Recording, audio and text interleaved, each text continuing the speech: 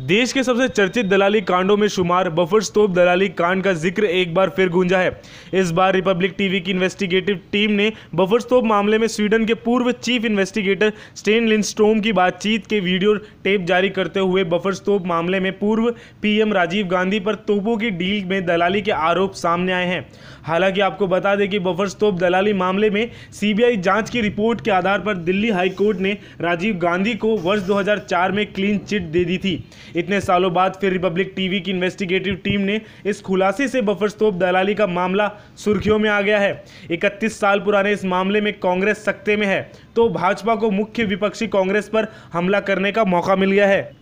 Republic TV की investigative story team ने Bofors स्टॉप दलाली मामले में पूर्व चीफ इन्वेस्टिगेटर स्टेन लिंडस्ट्रोम से बातचीत की है। इस बातचीत के टेप में दावा किया गया है कि बफर स्टॉप दलाली मामले में पूर्व पीएम राजीव गांधी को पूरी जानकारी थी और डील के खेल में हुई दलाली की भी जानकारी थी।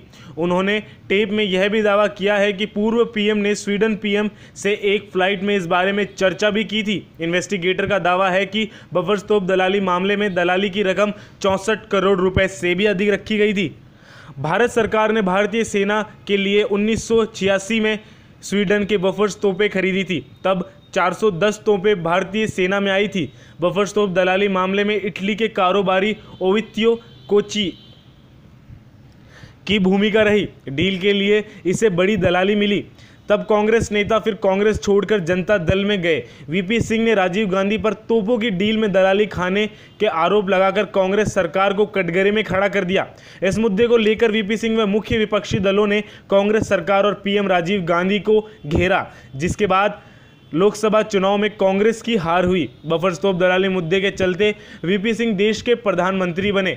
बाद में इस मामले की जाँच सीबीआई को दे दी गई। हालाँकि 2004 में सीबीआई रिपोर्ट के आधार पर दिल्ली हाई कोर्ट ने राजीव गांधी को क्लीन चिट दे दी थी। और भी खबरों के लिए जुड़े रहे हमारे साथ और हमें सब्सक्राइब ज़रूर करें।